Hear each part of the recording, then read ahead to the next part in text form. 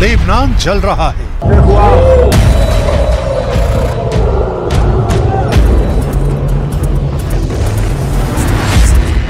और हिजबुल्ला आखिरी साँसें गिन रहा है। क्योंकि इसराइल की सेना और नेतन याहू ने अपने दुश्मनों को मिट्टी में मिला देने की कसम खा ली है।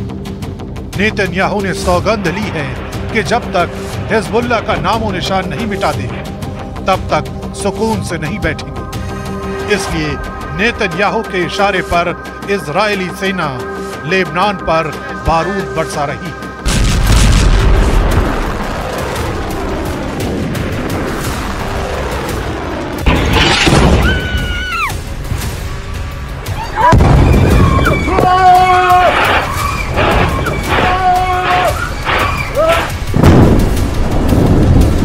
बार फिर इजरायली सेना ने दक्षिणी लेबनान पर अटैक किया है। दक्षिण लेबनान में हिजबुल्ला के 75 ठिकानों पर बम बरसाए गए हैं। इजरायली सेना के मुताबिक इस बार ये स्ट्राइक खास तौर पर बेका इलाके में की गई है, जहाँ पर हिजबुल्ला के कई आतंकी छिपे थे।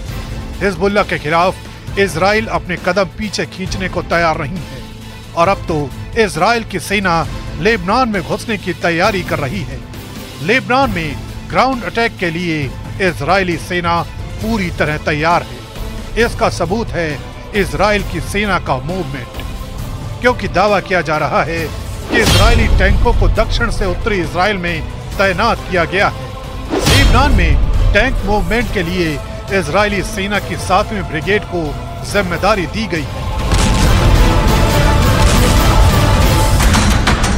इजरायली सेना का मकसद तय है। इसराइल जानता है कि अगर उसने हिजबुल्ला के खिलाफ जरा सी भी नरमी दिखाई तो हिजबुल्ला के आतंकी इसराइल पर काउंटर अटैक शुरू कर देंगे। फिर हिजबुल्ला को उसके साथियों से समर्थन भी मिलेगा। ऐसे में इसराइल जंग में बैकफुट पर आ जाएगा।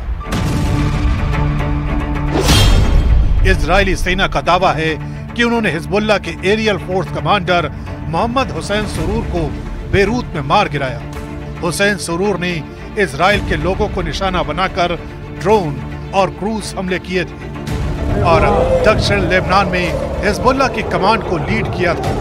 पर हिजबुल्ला भी कहाँ चुप बैठने वाला था? इसराइल के इस हमले का बदला हिजबुल्ला ने कुछ ही घंटे में सूद समेत चुका दिया। हिजबुल्ला ने उत्तरी इसराइल के अक्को शहर पर 45 रॉकेट दागे। कुछ रॉकेट को तो आयरन डोम ने नष्ट कर दिया, लेकिन कुछ ने इसराइल में तबाही मचाई।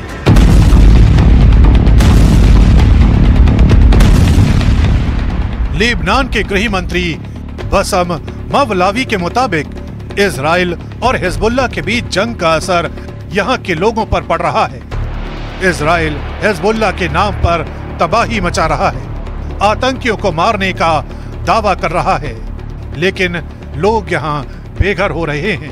जंग की वजह से लेबनान से नब्बे हज़ार लोग पलायन कर चुके हैं। पिछले 48 घंटे में ही सत्ताईस हज़ार लोगों ने अपना घर छोड़ दिया है।